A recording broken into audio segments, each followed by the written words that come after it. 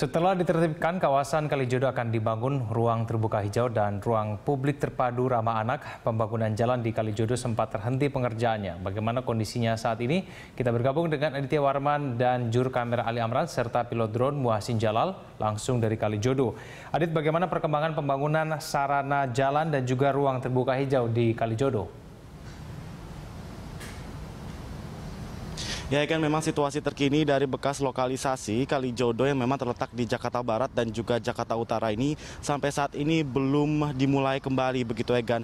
Memang sempat beberapa waktu lalu pembangunan sudah dilakukan oleh Pemprov DKI Jakarta, namun pembangunan itu diperuntukkan untuk membangun jalan inspeksi yang memang sampai saat ini sudah ber, sudah terjadi begitu, sudah terbentuk jalan inspeksinya dan sudah digunakan dan dimulai diaktifkan oleh warga sekitar untuk menuju dari kawasan di Jakarta Barat menuju ke kawasan di belakang saya di Jakarta Utara ini.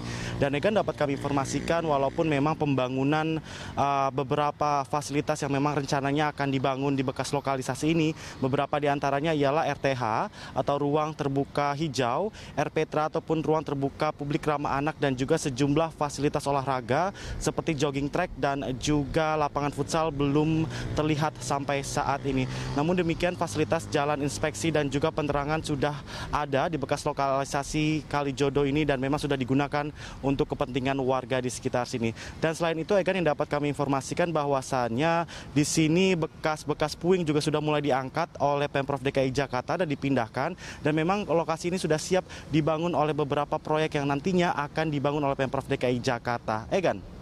Ya, Adit, fasilitas apa yang paling diharapkan warga nanti ketika Kalijodo sudah kembali dibangun dengan ruang terbuka hijau?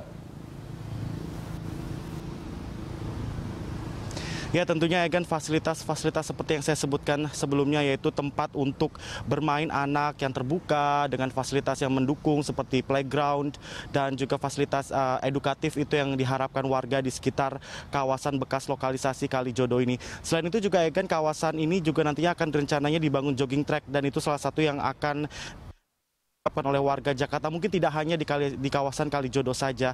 Dan Egan walaupun demikian uh, pembangunan uh, jalan inspeksi dapat kami uh, jelaskan kembali bahwasannya tidak semua jalan inspeksi ini sudah rampung dikelar dikerjakan maksud kami karena memang pembatas antara jalan inspeksi dan juga tanah datar itu perbedaannya antara satu hingga satu setengah meter. Itu artinya ada perbedaan level tinggi tanah yang memang membahayakan para pengguna jalan dan pembatas antara jalan inspeksi dan juga tanah lapang tersebut belum 100% rampung dikerjakan oleh Pemprov DKI Jakarta. Hanya pembatas di kawasan Kalijodo bekas Kalijodo ini di Jakarta Utara saja yang sudah rampung. Namun di sepanjang jalan menuju ke arah kawasan Kalijodo di Jakarta Barat belum selesai dikerjakan dan inilah yang menjadi PR untuk Pemprov DKI Jakarta untuk terus membangun kawasan ini. Dan Egan tentunya kita akan terus mendukung program pemerintah Pemprov DKI Jakarta untuk mewujudkan Jakarta yang lebih terbuka dengan lahan hijau yang lebih banyak untuk menghidupkan Jakarta yang lebih hijau. Kita akan nantikan dan juga kita akan dukung program tersebut. Egan, kita kembali ke studio. 오히려